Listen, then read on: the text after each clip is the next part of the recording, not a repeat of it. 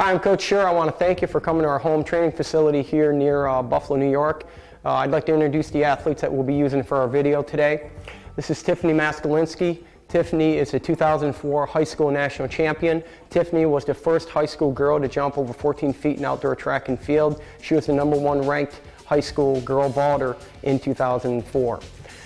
Also, I have Dan Tierney. Dan Tierney was the 2004 indoor high school national champion. Dan Tierney Came to Suhr Sports as a 10 foot 6 inch pole vaulter. Less than a year later, jumped over 16 feet and won the 2004 Indoor High School National Championship.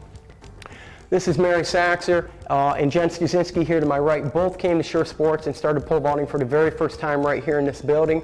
Mary, after a year and a half, went on to become the first girl to jump 14 feet in indoor track and field, set the United States junior record at 14 feet 2 inches, and broke the high school American record eight different times in one season.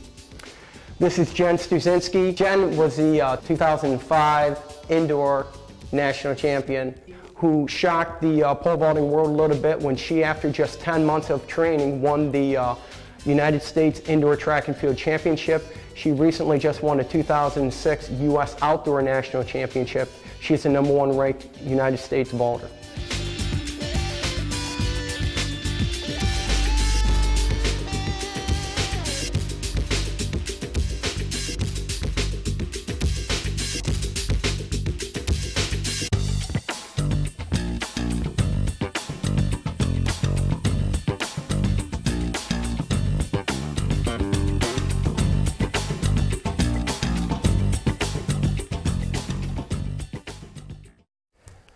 Thing we'd like to do is go over our five fundamental takeoff drills. Our five fundamental takeoff drills are the foundation for all our vaulters, regardless of if they're jumping six feet or 16 feet.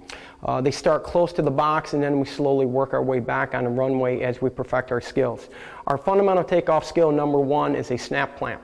Our snap plant starts with a simple over under grip as Tiffany has here. Our grip is usually a little bit wider than what our hip width is. Uh, Tiffany's going to go ahead and start the drill.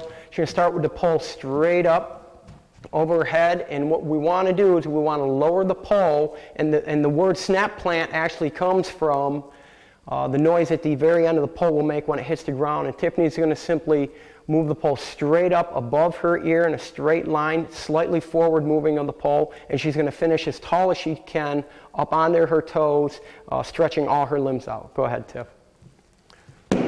Very good again.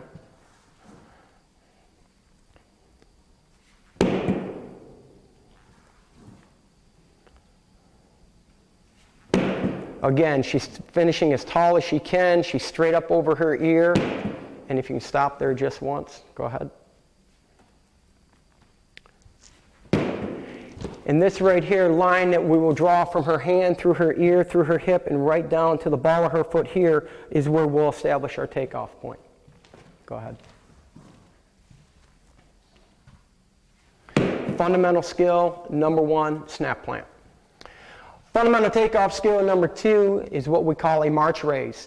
And the cadence that we're going to use here is just kind of like an army cadence, left, right, left, right. This cadence is going to be used for the next four drills that we do as we progress further from the box. Mary's going to demonstrate our march raise. Now this is a very simple drill and it's going to start right where the last drill took off. She's going to start with a pole straight up over her head, just like she just finished a snap plant, and she's simply going to march left, right, left, and jump straight up. Go ahead, Mary. Left, right, left, and jump. Very good. One more time. Left, right, left, and jump. Now, what we're emphasizing here is that we stay upright through takeoff. It's very important that you stay upright through takeoff and we do not go to our back and we do not establish on our heel falling to our back. So this, again, is right away establishing the habit of jumping but staying upright with our upper body, which is key through takeoff. One more time, Mary. Left, right, left, and jump. Go ahead. Left, right, left, and jump. Very good. Now she's jumping straight up. Again, fundamental takeoff skill, number two, march raise. Fundamental takeoff skill, number three, walk raise. Uh, what we want here is to re remember our cadence, left, right, left again. We're going to start with the pole straight up over our ear, just where we had finished the snap plant again. And what Tiffany's going to do, and we're going to emphasize here again that we stay upright through takeoff and that we don't reach out at the box as we run or approach the box. We want to snap our feet directly under our hips. So Tiffany's going to simply take a left, right, left, but instead of marching this time, she's going to walk towards the box. Already we've progressed back on the runway about three steps away from the box because, uh, again, we're trying to get back where we uh, apply a little more skill as we go. Now here goes Tiffany. Left, right, left, and jump. Very good. One more time. Again, cadence, left, right, left, and jump. Now Tiffany's doing a very good job of once she jumps up off the ground, she's not looking up, looking for any crossbars. Again, by habit, we're trying to establish that we stay upright uh, and drive into the pole while staying in that upright position. Fundamental skill number three, walk raise. Fundamental takeoff skill number four, uh, three-step plant. Now, every coach uh, in America does a three-step plant to some degree. Uh, we, again, like, like the same type of drill. Uh, a couple things we want to emphasize and maybe a few things that we do a little bit different. As we work on a three-step plant, that's where transition zone comes in. Transition is when we bring the hands from low to high as we're accelerating down the runway. Transition zone is very important to master uh, with, with a very minimal loss of speed. So this is something that has to be worked on uh, quite diligently. Now Mary's going to demonstrate our three-step plant. What I'd like to emphasize is, is on our very first left step, which is our cadence, left, right, left. On our very first left step, we want to snap plant that pole straight up over our ear. So really what this is is a combination of the first three fundamental takeoff skills all brought into one skill. So on our first left of our cadence, we're going to snap plant the pole straight up over our ear. Then we're going to take a right and a left without reaching towards the box, snapping under our hips, and we want to stay as tall as we can, jump and stay upright off the ground. Again, emphasizing how important it is to stay upright through takeoff. Mary, go ahead. Left, right, left, and jump. Very good. One more time. Again, the importance here is on the first left, we snap plant the pole because we always want to emphasize having the pole high and early. And then when we jump, we certainly want to stay uh, upright as much as we can through takeoff, as long as we can through takeoff. Uh, again, fundamental skill, takeoff skill, number four, three-step plant. Fundamental takeoff skill, number five, push in. Now, this is a skill that I want to emphasize, uh, very good skill. Um, some coaches have shied away from it a little bit. Uh, I want to emphasize that this is not tapping an athlete. Tapping an athlete is when they run down the, the uh, runway and we tap them on the back to give them support and then lose touch of the athlete. This is not that drill. This is simply a push in. We're going to support the athlete the entire time off the ground then back to the ground as we practice our upright position at takeoff. Now, the way that we get our steps for this particular drill is about three steps out, and it's the exact takeoff drill as the three-step plant. The only difference now is we're going to push the athlete up and into the air. At first, to establish our steps, though, we're going to have Tiffany simply do a three-step plant to make sure that her distance from the box is adequate. Go ahead. Left, right, left. Very good. Now we know that, that Tiffany's steps are very close in, in, a, in a, a, good area where we can go ahead and get her to jump up off the ground. Now, one other thing I want to emphasize is you probably don't want to pick uh, somebody half your size to push you in. You either want a a coach or another athlete who's fairly strong who can support your body weight and push you in the air. Another safety tip I want to emphasize is that the athlete has to remain holding on to the pole, uh, and certainly the coach or athlete has to remain holding on to the athlete in order for this to work. Now, again, we're going to establish a lot of things that we're looking for off takeoff. We're not going to lead out with our heel. We're going to snap our foot right under our hips. We're going to jump up. We're going to stay upright, and we're going to get good leg separation as we jump out for height and distance into the pad. Go ahead. Left, right, left jump, press, stay upright, right back down. We'll try it again. Very good. Left, right, left jump, press, stay upright, right back down. Very good. Again, uh, and Tiffany does this very well. Uh, we're jumping up off the ground. We're getting good leg separation. We're driving the pole forward. We're high and early with the plant. Uh, we're very tall at takeoff. These are all things that we want to emphasize, and certainly we have to stay upright as we drive that pole through takeoff. Uh, again, Tiffany's one of the best at this. Uh, a lot of the kids that we have, we've had here have done a very good job. And, and again, the more we stay upright, the more we accelerate, the more we jump aggressively up and out into the pole, the longer and bigger pole we're going to bend.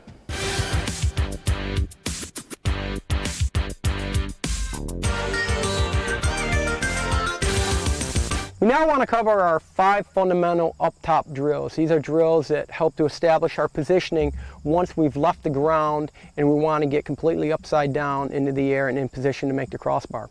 Our first fundamental up-top skill is what we call a short stick to position one.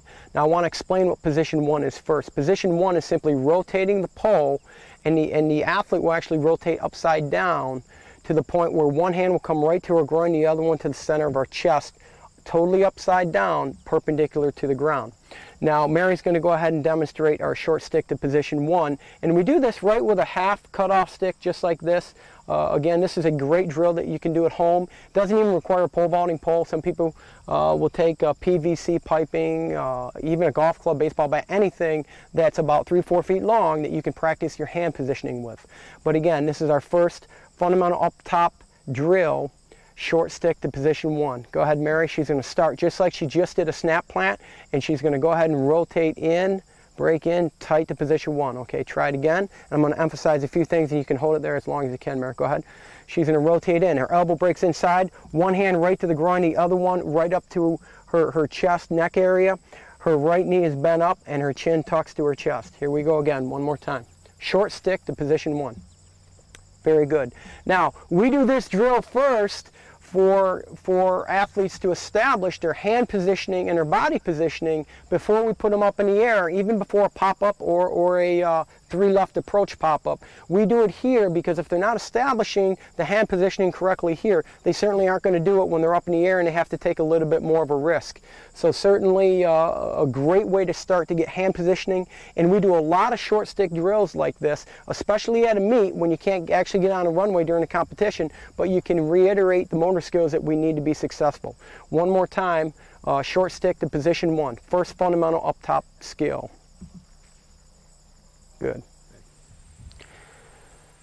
Fundamental up top skill number two is a three left pop-up uh, or a three left approach. Uh, this is commonly known as a pop-up, that's why we call it a pop-up. It's actually simply a three left approach and the athlete is going to go perpendicular to the ground completely upside down.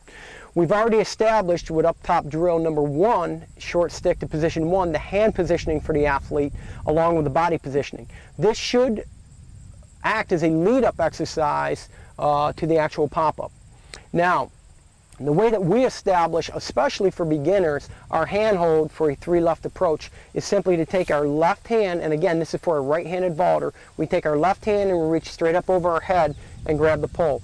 This is about where most beginners will end up having their lower hand of, of their handhold. And then we'll simply go a little wider than our waist as we went over earlier and grip up top here. So again, the way to establish that hand grip is to lift straight up over our head, arm length here with our left hand, and that's where our left hand will rest on the pole. Our right hand will be up higher, a little wider than our hips.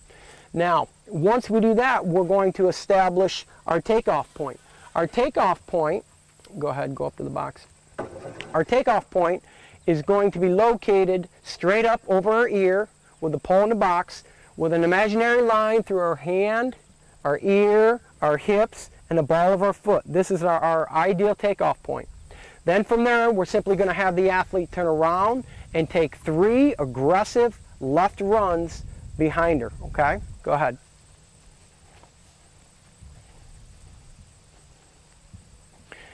One, two, three. Very good.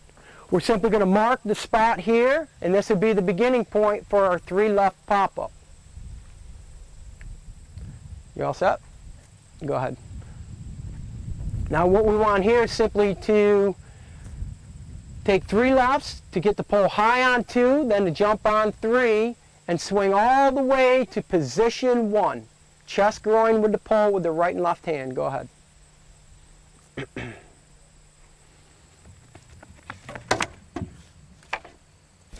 very good. Jen does a very good job of swinging through right hand right to the groin, left hand right to the center of the chest. We go completely upside down back to the pole. Not leading out away from the pole, but right tight to the pole so we can start that pull, turn, release eventually tight to the midline. We're going to demonstrate this one more time for you. And again, as we come in, we want to emphasize a high early takeoff point. So on our second left, we're going to snap plant that pole up forward and then jump off our third left. One, two, right tight, position one. Okay. Now that we've established getting upside down and perpendicular to the ground to a, good position one, uh, what we want to do is emphasize the pull turn release phase of the vault. This is when we actually leave the support of the pole and make the crossbar in free flight. Now what we want to do here, uh, this would be our fundamental up top skill number three, which is a short stick pull turn release. Uh, Mary again is going to start right in a position of uh, finishing a snap plant, pull straight up over her ear, and the first thing she's going to do is she's going to do that short stick position one, but then from there, she's going to pull turn release through her midline and actually square up 180 degrees all the way around and, and release the pole. Go ahead and you release the pole on this one. She established position one, now pull, turn, release, and let go of the pole. Very good. Now again, a couple things I want to emphasize is as we start to pull, turn, release, we want to keep the pole close to us, not to drift away from the pole. We want to go right directly through our midline. We want to turn 180 degrees so that our shoulders and stomach and hips are square to the crossbar as we clear it. Go ahead, Mary, we'll try it again. To short stick to position one, slight hesitation. Now we're going to pull, turn, release. Very good. Now, a couple more things that I'd like to just make a note of is as we release the pole, our left hand comes off the pole first, and then our right hand releases the pole last. Once our left hand comes off the pole, we simply want to bring it to our neck so it's out of the way and it's not going to mess with the crossbar at all as we make our clearance. This again is for a right-handed vaulter. A left-handed vaulter would be reversed. Go ahead, Mary, one more time, and if you can stop at the end so I can show you hand position, that'd be great. Go ahead. She's going to swing through tight position one. Now we're going to pull, turn, release. She's going to stay there. Very good. And her left hand comes to her neck. And her right hand is the last one to release the pull. Again, fundamental up top skill number three, short stick, pull, turn, release. Fundamental up top skill uh, number four is going to be our lying stick pull, turn, release. And this is actually done with the athlete lying on their back. Again, this is to emphasize pull, turn, releasing through the midline and to squaring up our shoulders, our hips, and our stomach to that crossbar to get that 180 degree turn down by habit.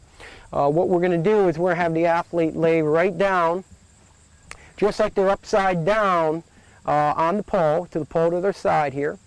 And what we'll do is we'll establish position one. And a good little mini drill that we'll do here is we're going to put the pole right to the side of Mary, and we're simply going to tell Mary, okay, grab the pole and go to position one. This again allows the athlete to practice getting the pole to position one, chest groin with our hands, and our chin tucked a little bit through our chest.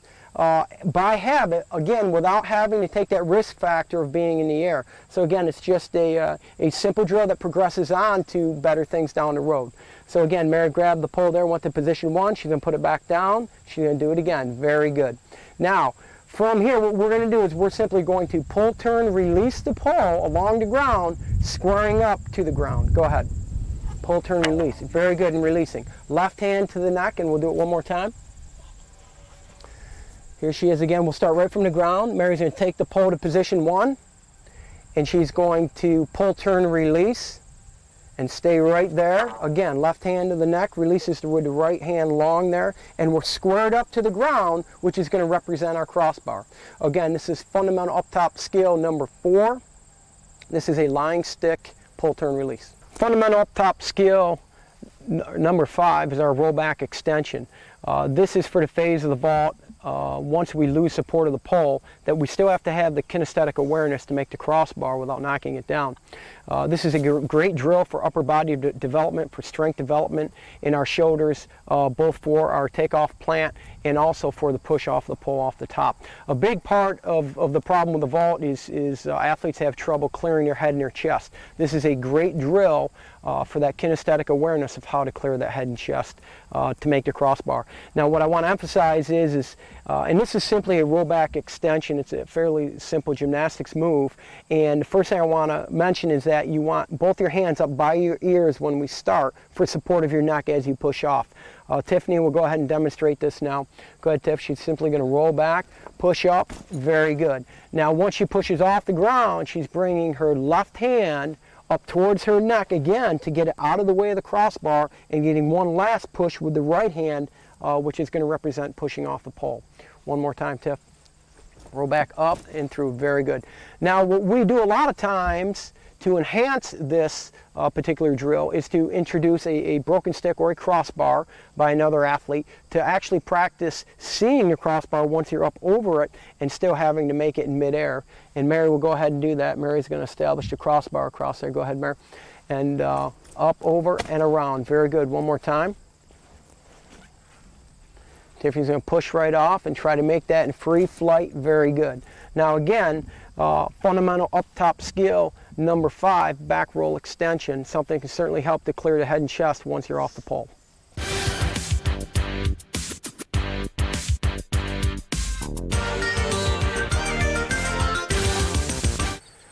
Now that we've established our five fundamental takeoff drills and our five fundamental up top drills, uh, we want to progress to, uh, to get to our training pole run, which is going to be a four left approach, uh, eight steps total.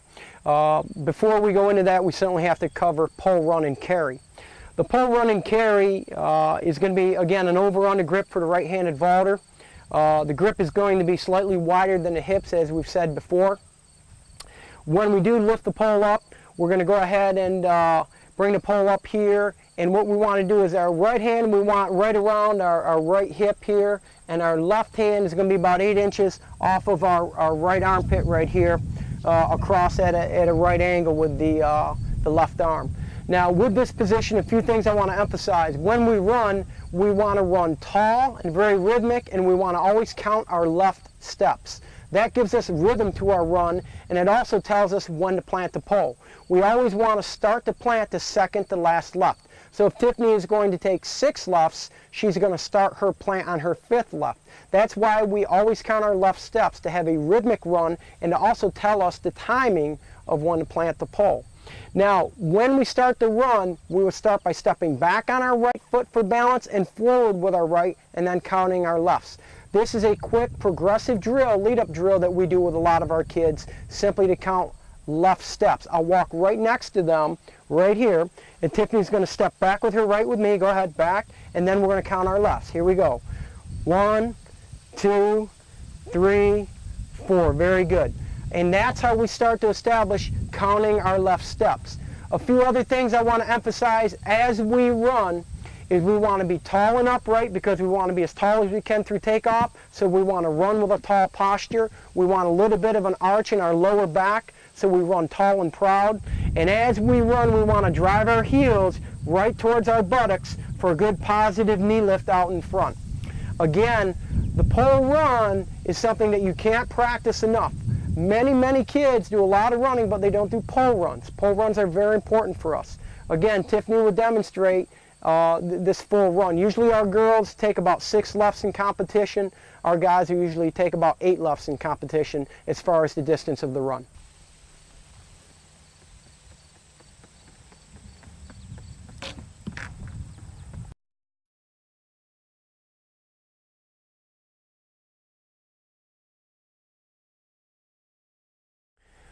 What we'd like to do now is to establish our four left training pole run and a lead up drill to our four left training pole run which is really where we spend a majority of our time training uh, because you can actually go through the entire vault. Uh, first we're going to establish a pure drive phase uh, followed by a position one phase off of that followed by pull turn release and actually a bar clearance. But the first lead up drill to all that is certainly taking care of the pole run and carry. So after the pole run and carry we're now going to practice lowering the pole planting high on our third left and jumping on our fourth left, getting ready for a towel plant or a box plant uh, as we progress down. The first thing we have to do though is establish Dan's takeoff mark for a four left approach, starting stepping back on his right and then going forward counting his lefts. A four left approach which he'll demonstrate now. One, two, three, four. Very good. And what we'll do is we're going to mark the spot right where Dan left there with, with the uh, blue X, and we're going to have him come on up to establish where the towel will go. Go ahead. And he'll put the pole straight up over his ear with his toe right on his four left mark. And what we'll do is we'll mark another X right here at the pole tip, and this will represent the very back of the pole vaulting planting box. What we like to do is just use a normal towel you know, a two foot by three foot towel is adequate or any size towel really will do.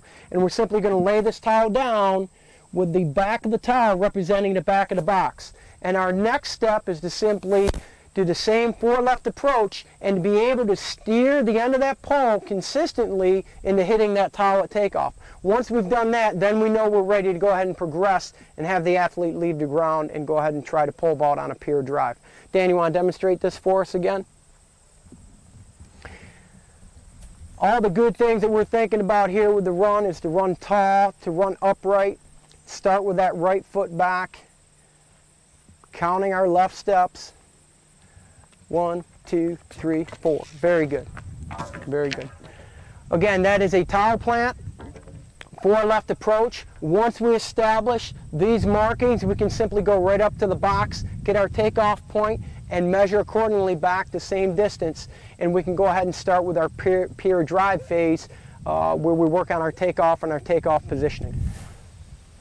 Off of our towel plants and our pole run and carry, the next thing that we want to establish is our four left training pole uh, drills. And, and, our first phase is what we call our pier drive phase. In other words, we just want to come down high on three, jump on four, and jump and stay upright throughout the entire jump. In no way are we emphasizing anything in the air here.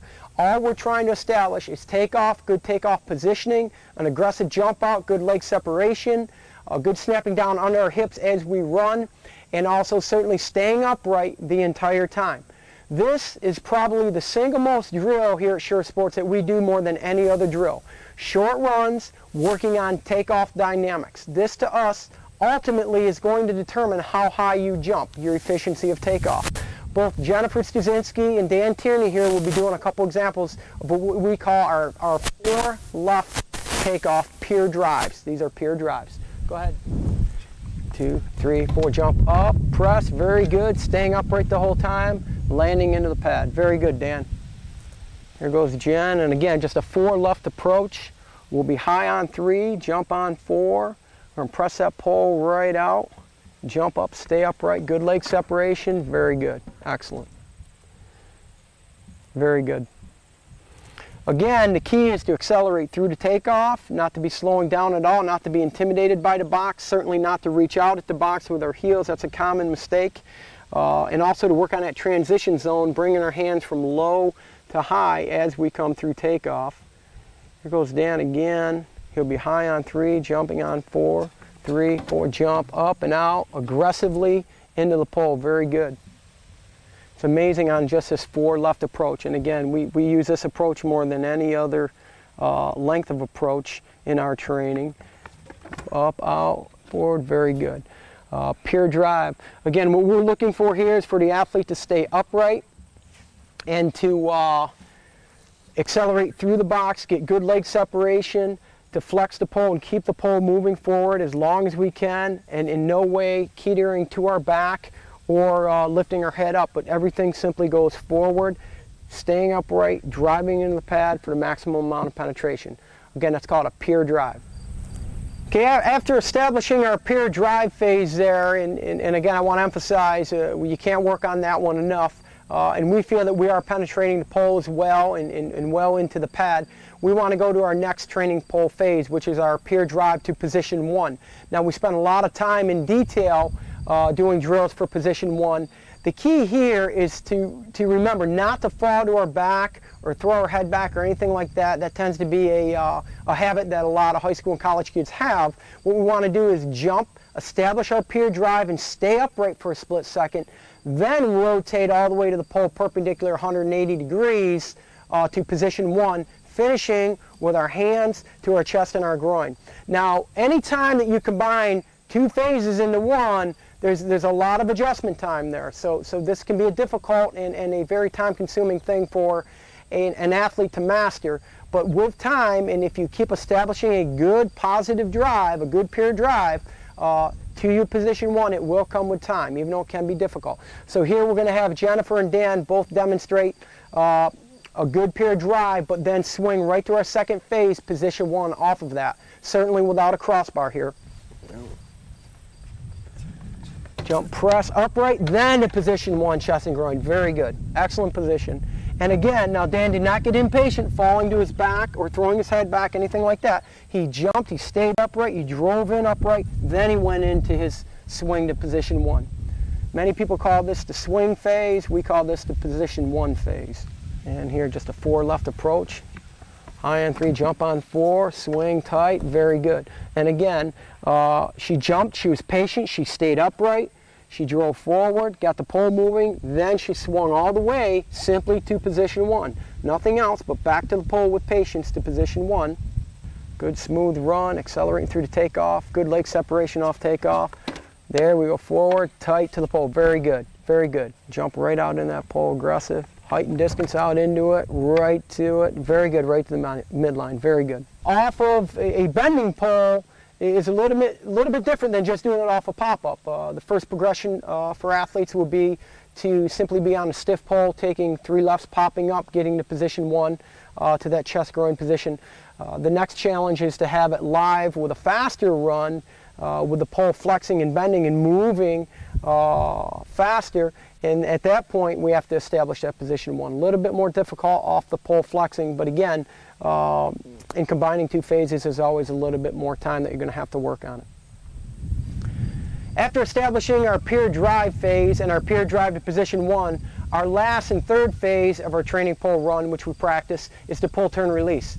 Now again, earlier today we went over the, uh, the fundamental up top drill of a short stick pull turn release that Mary uh, demonstrated. We're going to have her do that again because now once we do it with the pole bending, there's no difference in, in, in the positioning with the hands or the body. The only exception certainly is, is that we're going to be upside down in the actual air coming off a bent pole. Much more difficult. However, the hand positioning and the uh, body positioning is very similar to the lead up drill. Go ahead, Mary. She's going to start with the uh, pull straight up over her ear. She's going to go to position one first, tight position one, chest groin, then pull, turn, release, just like that. Very good. Now this is the exact motion that we're going to do, except now when Dan does it in our third phase of our training pole run, he's actually going to pull, turn, release right up over the crossbar or a bungee if you prefer that in practice.